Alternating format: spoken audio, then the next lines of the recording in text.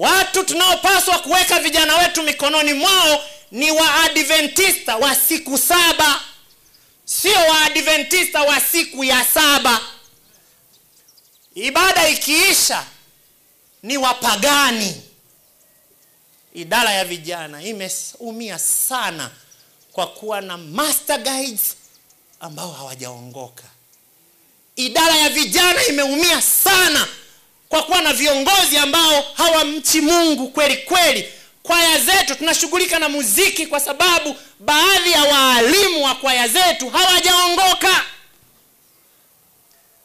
Na ukiuliza ni kwa nini sasa ilikuwa inakufa huyu ndiye ameiokoa lakini mbona ana mke mwingine tutamwombea ombea tu mchungaji. Tutamwombea unajua sasa huyu ndiye aliyebaki peke yake. Sasa huyu naye tukimshughulikia kwaya itakufa tena. Wacha ife wacha ife ili wanakwaya waende mbinguni.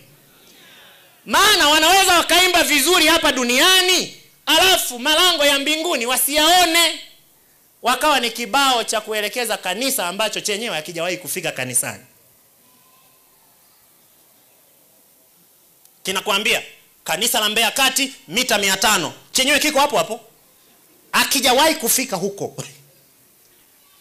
Wanakwaya wanatuambia toa kwa uaminifu hawatoi. Ni kakibao kanatuelekeza tu.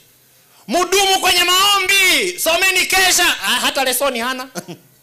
Ni kakibao tu kakutuelekeza. Tukatae kina esau kwenye makanisa yetu.